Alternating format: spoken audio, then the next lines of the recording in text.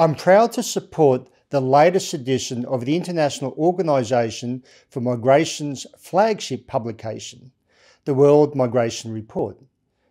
The report has been produced every two years since the year 2000, providing detailed analysis of global migration data and trends.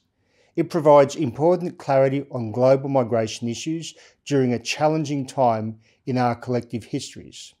With 29% of Australia's national population being born overseas, Australia fully recognises the importance of global migration and the work of IOM.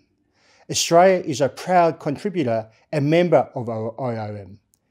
As a founding member state, Australia celebrates the 70th anniversary of IOM's creation and our ongoing engagement on migration management. We remain committed to being a strong and enduring partner well into the future. Australia has long supported the publication of the World Migration Report.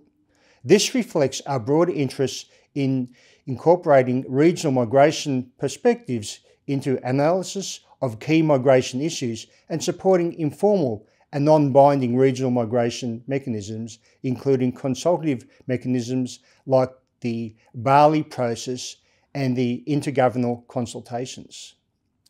As the world continues to face the unprecedented global challenges arising from the COVID 19 pandemic and its impact on migration and the international movement, comprehensive analysis and understanding of migration trends is now more important than ever. That is why the World Migration Report should not be allowed to sit on the metaphoric bookshelf. Rather, it should be used to inform decision makers and policy debate, contribute to education, enlighten the public discourse, and debunk persistent myths around migration through verifiable data. I commend IOM for developing a technology interactive platform to view data in this report.